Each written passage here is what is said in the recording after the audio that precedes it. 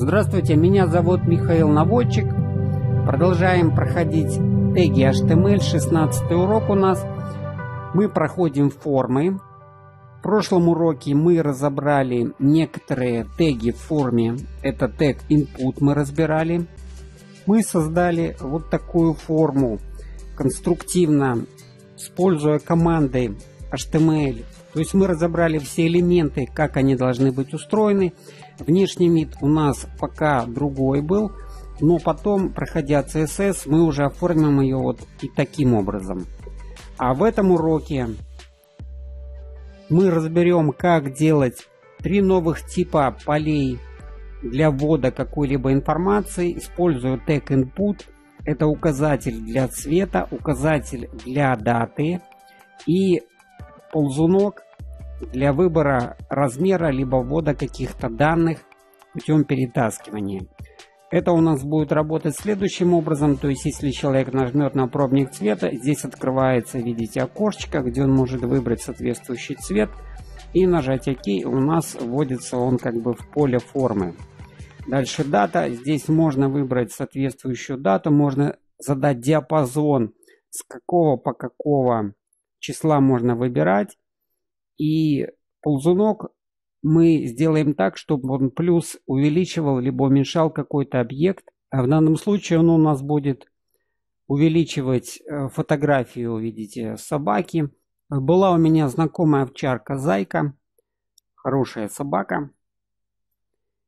То есть реализуем мы, чтобы этот ползунок работал с помощью JavaScript, то есть подключим еще определенные команды, которые мы до этого не подключали – и чтобы это реализовать, мы будем использовать в атрибут type три новых значения, которых мы раньше не использовали. Это color для цвета, выбора цвета date, это для выбора даты, и range для ползунка. Также мы будем использовать новые атрибуты value, min и max, чтобы регулировать параметры вышеуказанных атрибутов и в конце подключим код на JavaScript, используя тег script и новую команду для нас это ID. И чтобы это реализовать, можно открыть предыдущий документ, который мы делали в предыдущем уроке, то есть в 15 уроке, вот он у меня открыт. Либо у вас, если его нету, под видео, которое вы смотрите, будет ссылочка на пустой документ, в котором тоже можно использовать его для создания то, что мы сейчас будем делать. Здесь я все удаляю между body и body. Э, меняем title, это у нас 16 урок, я напишу 16. Э, дальше здесь напишем атрибуты, некоторые, которые мы будем проходить. Это color, date и range. А дальше этот документ я сразу сохранил под номером нашего урока. То есть это у нас 16 задание. Соответственно, пишем здесь 16. Так как у нас это элементы формы, поэтому мы давайте поставим здесь заново тег форм. Э, соответственно, закроем этот тег. А между будем ставить уже элементы формы, которые нам нужно в нашем варианте. В прошлом уроке мы использовали тег input, в который размещали разные элементы формы. То, что мы сейчас будем делать, тоже будет находиться в теге input. То есть input у нас переводится с английского ввод, либо указывать. И здесь ставим соответствующий элемент формы. То есть пишем тег input. Он у нас не парный, закрывать его не нужно. Дальше у нас идет type, то есть тип нашего поля. Он, мы будем выбирать цвет, поэтому у нас будет тип, то есть type color. Ставим эту команду в tag input. Это минимум, что может находиться в этом поле. Уже можно сохранить и посмотреть, как это будет работать. Запускаем это в Google Chrome. Появляется, видите, такой пробничек цвета. Жмете, э, выбираете и появляется здесь вариант другого цвета для дальнейших целей. Э, при обновлении страницы видите, что сначала появляется черный цвет, то есть черный цвет это по умолчанию цвет, а дальше уже человек выбирает, жмет ОК, и его появляется тот цвет, который он выбрал. Можно изменить значение по умолчанию, что при загрузке у вас какой-то цвет сразу же подставлялся, отлично от черного. Для этого используется атрибут value. Мы его использовали тоже в предыдущем уроке. То есть берем этот атрибут, ставим соответственно вот сюда и пишем равно, и в двойных кавычках можем указать цвет, который мы хотим увидеть сразу. Единственное, что здесь э, этот элемент не принимает, если мы напишем просто цвет, как раньше мы писали, например, red, э, при выборе цвета. Давайте вот сохраним При обновлении, видите, red у нас не появился. Э, потому что нужно с цветами в этом элементе работать по-другому. Есть специальная система для определения цвета в виде кода. Вот давайте я введу в поиске э, по-русски выбор цвета. Э, видите, Google мне выдает вот такую вот шкалу. Здесь вот я могу выбрать соответствующий цвет. И то, что нам нужно, это верхний параметр, он пишется через решетку, потом идет 6 цифр с буквами, которые нам подойдут. То есть здесь выбираем любой цвет, который вам нужен. А я вот возьму этот цвет, копируем его и ставим вместо red value. Э, пересохраняем. Обновляем. Ну, теперь видите, по умолчанию у нас какой-то стоит уже определенный цвет. Есть разные программы, которые могут выдавать цвет для HTML документов. Вот здесь видите второй вариант, который можно тоже использовать в HTML. Э, форма записи такая может быть, но это не для нашего элемента формы. Нам подойдет вот через решетку запись. Если вот нажать на первые ссылки, которую дает Google, мы попадаем, видите, в программку, которая может тоже выбирать цвет. И вот снизу у нас идет соответствующий номер, который мы можем ставить для выбора цвета. Также, например, вот у меня на компьютере установлена программа Photoshop. Можно пользоваться и Photoshop, если вдруг он у вас установлен. Здесь пробник цвета вот слева квадратики, жмете на квадратик два раза быстро. И здесь тоже есть шкала, можно выбрать цвет, э, скопировать его, вставить э, в HTML документ. Либо у вас нет фотошопа, берете вот так в интернете, выбор цвета набираете, здесь есть прямо интерактивно, можно выбрать номер цвета. Если разобрать немножко подробнее, что здесь за цифры, э, здесь видите 6 цифр, по две цифры на каждый цвет. То есть если я устанавливаю вот здесь 0,0, э, допустим, здесь установлю 0,0, а здесь установлю FF английское, то есть максимальное значение конкретного цвета. Вот в данном случае у нас зеленый будет. Первые две позиции это у нас обозначение красного цвета. Вторые две позиции обозначения у нас идет зеленого цвета. И последние две позиции это обозначение у нас синего либо голубого цвета. То есть вот если я сейчас пересохраню этот файл, обновлю, вот мы получаем ярко-зеленый цвет. Э, соответственно, если мы здесь FF напишем в этом варианте, а здесь напишем 0,0, это у нас будет, соответственно, голубой цвет, либо синий цвет. Видите, да? И первые две цифры отвечают за красный цвет.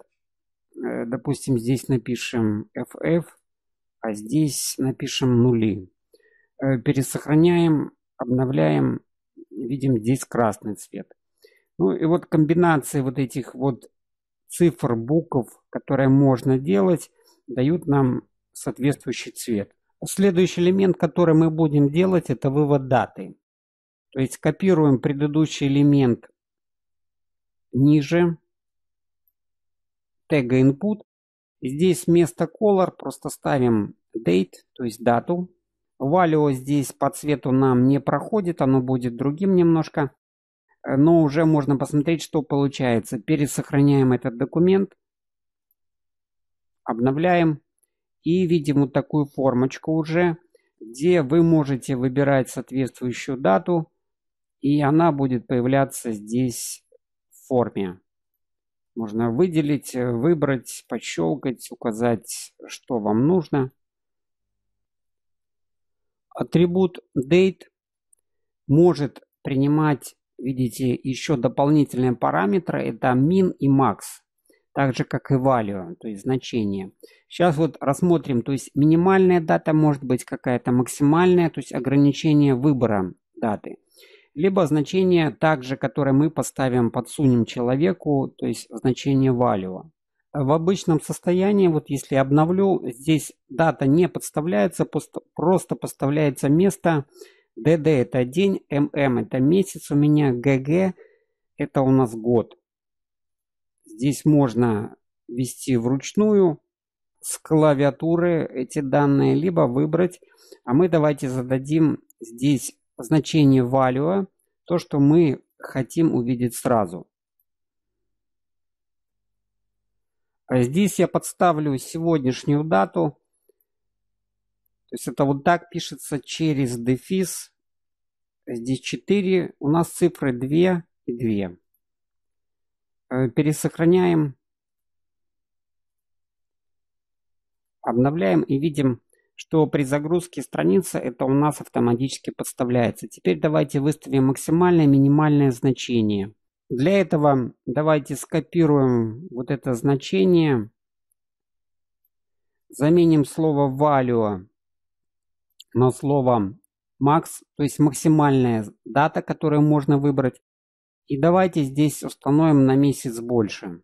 То есть будет у нас 0,9. И также установим минимальное значение, то есть копируем вот этот объект.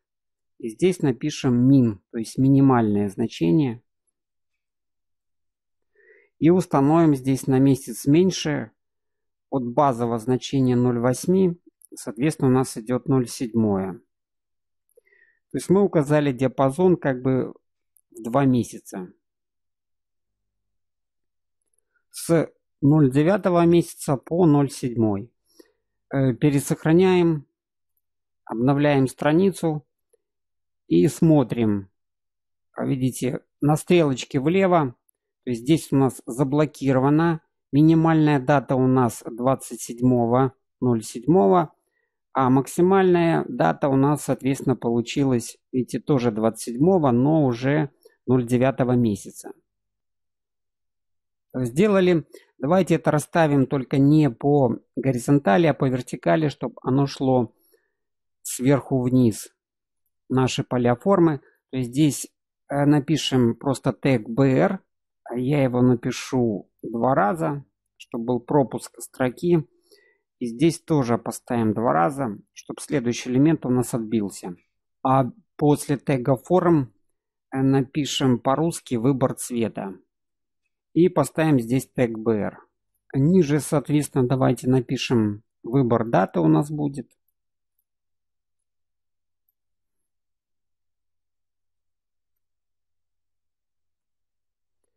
Так, сделали, пересохранили, обновили. Ну вот пока так у нас это выглядит. А дальше следующий элемент у нас ползунок. Это type range, диапазон, то есть. И он Э, принимает у нас атрибуты тоже максимальные, минимальные, плюс value можем задать, значение по умолчанию. То есть он похож, в принципе, на предыдущий вариант, только не относительно даты, а относительно других данных. Для этого мы давайте скопируем вот этот блок кода, поставим его ниже Здесь давайте напишем выбор размера э, фото. Заменим type data на range.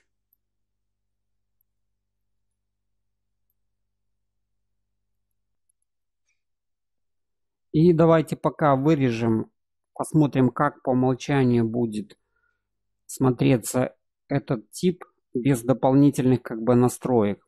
Э, пересохраняем, обновляем страницу. Э, видите, появился наш ползунок. И вот так он работает. По умолчанию максимальное крайнее значение у нас равняется 100, минимальное значение равняется нулю. Э, по умолчанию, если обновить, он стоит в середину. То есть по умолчанию value, value это и есть центральная позиция, либо какая-то другая, будет у нас равняться 50. То есть если мы зададим max 100, минимальное 0 и value 50, то ничего не изменится, он останется, как вы сейчас видите. Давайте это проверим. Здесь я отменю, верну эти параметры. Чтобы не писать здесь, пишем, давайте 50. Максимальное поставим 100 а минимальное напишем 0. Э, пересохраним. Обновим. Видите, ничего не поменялось. Почему? Потому что это значение по умолчанию. Э, дальше. Можно установить, конечно, не 50. Например, установим здесь 10. Э, То есть ползунок будет смещен относительно 100 влево то есть слева будет 10% от 100. А вот мы и видим. Дальше. Также есть атрибут step, который мы можем указывать. Это шаг движения ползунка. Step по-английски переводится как шаг. Давайте подставим этот атрибут. То есть здесь пишем слово э, step равно и укажем, сколько делений за одно движение мы хотим видеть. Ну, давайте укажем, например, 20. Пересохраняем, обновляем. И видим, теперь уже ползунок у нас не плавно двигается, а скачкообразно. То есть здесь получается раз, два, три, четыре, пять. То есть у нас 20 это шаг, а всего 100. Получается 100 разделить на 20 будет 5. Вот 5 шагов мы и видим, которые у нас получаются. Для нашего дальнейшего примера здесь давайте установим Максимальное значение немножко меньше, оно у нас будет 70. И шаг установим единица, чтобы он плавно у нас ползунок двигался. Также начальную позицию ползунка установим в единицу, чтобы он стоял у нас слева. Э, пересохраняем, обновляем. Вот у нас так он стоит. То есть можно было установить 0 чтобы тогда он вообще будет слева. И сейчас мы привяжем фотографию к этому ползунку, чтобы она у нас менялась в размере. Э, для этого для начала мы разместим сначала просто фотографию снизу. Э, то есть вот здесь э, давайте мы ее поставим. Пишем tag image.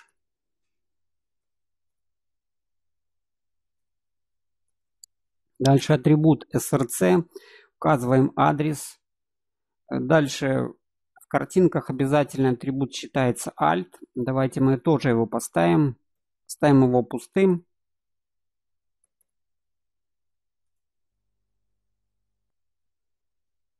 Чтобы взять картинку, которую я использую, э, вот у меня здесь есть в интернете ссылочка. То есть вы переходите в YouTube, находите курс по HTML, который вы сейчас проходите. то есть создание сайта для новичков. И здесь в десятом уроке, где мы рассматривали э, тег image, если запустить это видео, под видео есть ссылочка на картинку, которую я буду использовать. То есть жмете здесь еще. Вот у нас три картиночки. Вот это нижнее фото 3 для урока. А если нажать, вот открывается эта собака. Я копирую сверху адрес в адресной строке браузера и, соответственно, ставлю в наш HTML-документ в атрибут src, где у нас ставится адрес. Жмем «Вставить». И тогда картиночка у нас будет грузиться с интернета. Это вариант, если вы хотите подгрузить картинку с интернета. Дальше мы рассмотрим, как ее использовать, если вы уже ее скачали. Либо, если вы делали предыдущие уроки, то у нас была создана папочка И, в которой уже лежит уже эта собака. Давайте сделаем второй вариант. Если у вас это уже скопировано. Для этого мы дублируем эту картинку. Здесь место вот этого адреса она у нас лежит в папочке и э, ставим слэш и ставим название расширения этой картинки 3doc.jpg. То есть я копирую, ставлю вот сюда, э, пересохраняем, посмотрим. А вот видите, появилась одна картинка, появилась вторая картинка. Но они у нас, они такие большие. Давайте зададим размер Э, который нам удобный, потому что здесь стоит в натуральную величину. То есть вот здесь перед скобкой напишем ширина, атрибут, то есть width э, равно и напишем в данном случае 130 размер. И это же поставим в картинку ниже. Э, пересохраним. Ну вот теперь они уже нужных для нас размеров. А дальше мы привяжем вот этот ползунок, чтобы он реагировал на картинку и увеличивал ее до нужных нам больших размеров. Нам, в принципе, две одинаковых картинки не нужно. Можно удалить либо вот эту команду с image, либо нижнюю команду с image. Либо давайте закомментируем. Есть такой вариант в HTML комментировать. То есть вы выключаете из видимости и учитывания этот код, но он остается, вдруг он вам пригодится. Для этого пишется, смотрите, треугольная скобка, ставится восклицательный знак. Дальше пишется дефис два раза. И дальше, где вы хотите комментарий закончить, ставите курсор, ставите два дефиса и ставите обратно же треугольную скобку, закрывающую, то вот эта строчка у нас не будет участвовать в коде, она не удалилась, но мы можем ее потом убрать в комментарии, вот этот код, начальный конечный, она у нас подключится, будет работать. Если пересохранить, обновить страницу, то видите, она у нас пропала. Хотя реально в коде она у нас присутствует, для дальнейших целей можно ее использовать. я буду писать это в нижней картинке, вот в этой, хотя можно было писать код дальше и в той. Это не имеет значения, просто вот здесь перед закрывающей скобкой мы сейчас зададим дальше команды, чтобы наш скрипт заработал. Чтобы подключить скрипт, то есть язык JavaScript, есть команда tag, называется скрипт. И по умолчанию, если мы пишем эту команду, то подразумевается, что это язык JavaScript. То есть берем вот этот тег и переходим в наш документ. Скрипт может размещаться в body документа, либо в head. Там, и там, как правило, пишется, но обычно, если мы хотим, чтобы он обрабатывался сразу при загрузке страницы, то он пишется максимально выше вверх. То есть после title а э, давайте мы напишем соответствующую команду script. Script. Эта команда у нас парная, поэтому нужно его закрывать. Э, здесь пробелов мы не ставим, иначе может не работать.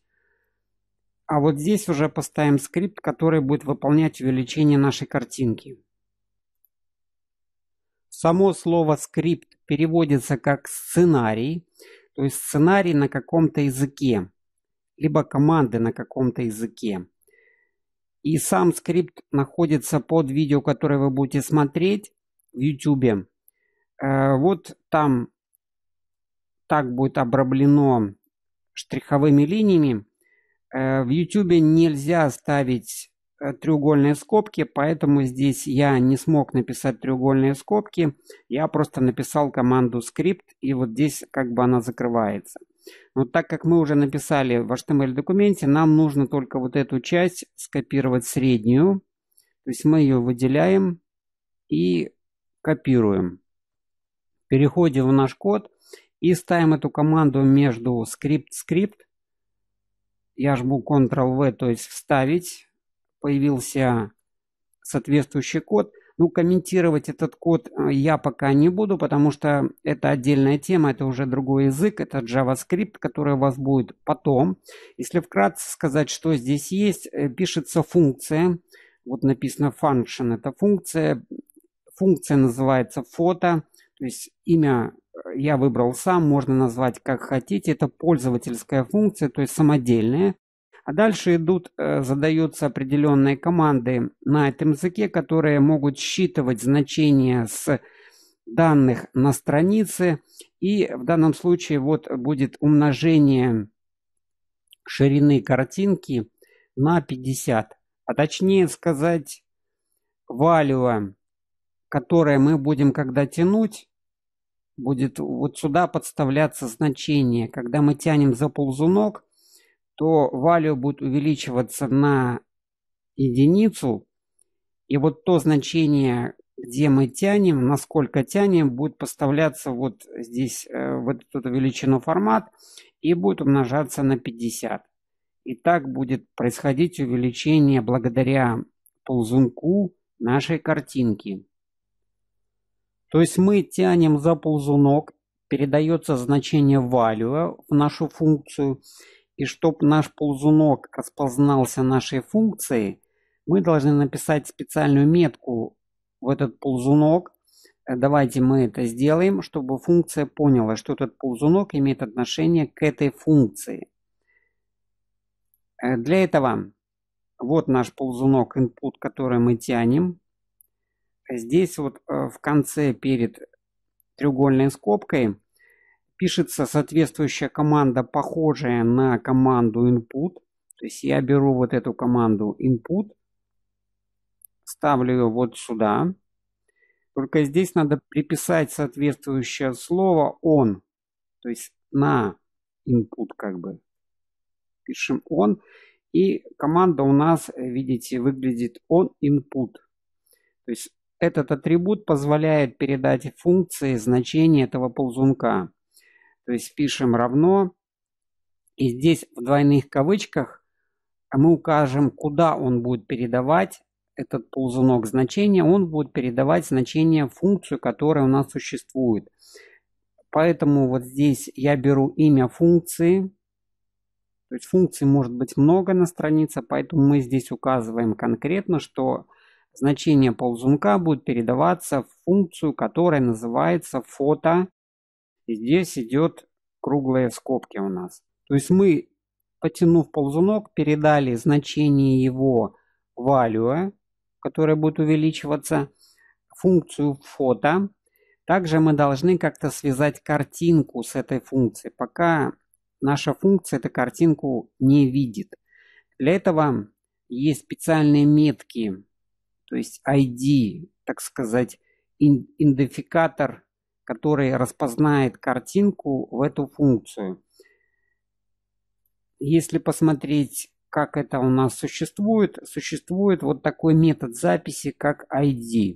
То есть если мы пишем какой-то объект вот эту меточку, потом пишем равно и какое-то персональное имя присваиваем, то мы можем это использовать в каких-то вот в данном случае языках, JavaScript, либо в CSS – либо в других языках.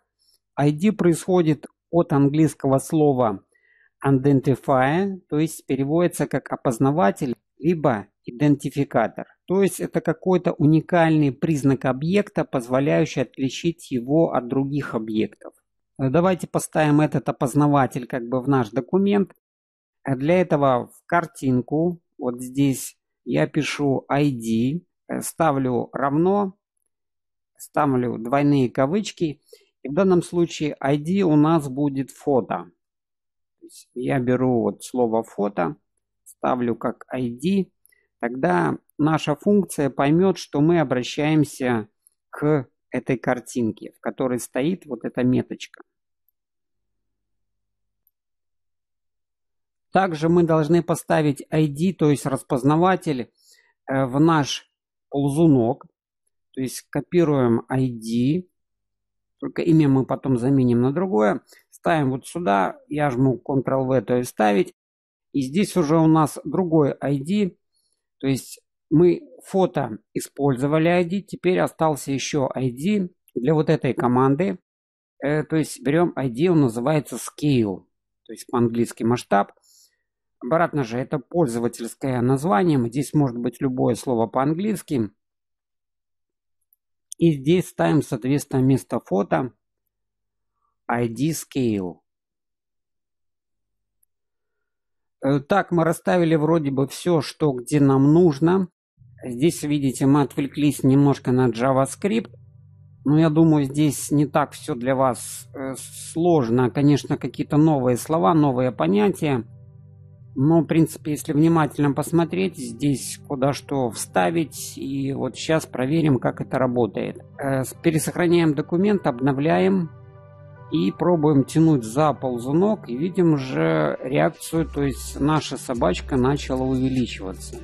То есть скрипт подключился, заработал. Он распознал картинку, распознал э, наш ползунок. И, соответственно, так мы можем теперь уже подключить скрипт. И впоследствии мы это будем делать, когда будем проходить HTML, CSS. А в следующем уроке мы разберем новые элементы полей для формы, которые используются в интернете. Это поля для ввода паролей, чисел, телефонов и другие некоторые объекты. А пока спасибо за внимание. Если будут вопросы, задавайте. Жду вас в следующем уроке.